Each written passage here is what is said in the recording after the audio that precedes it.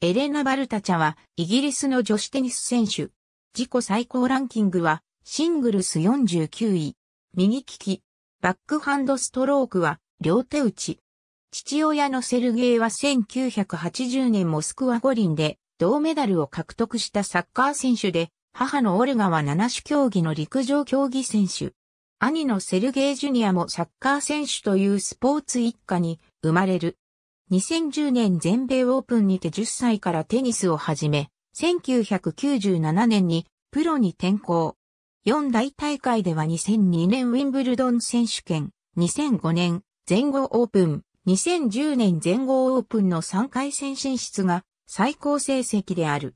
WTA ツアーではシングルス、ダブルスともに決勝進出はないが、2002年よりフェドカップイギリス代表となり、地元で開催された2012年ロンドン五輪に出場した。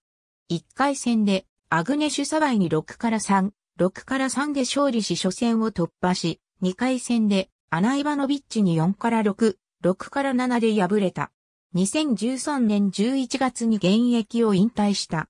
2014年1月に結婚するものの、同年5月4日、ガントの闘病の末、30歳の若さで死去した。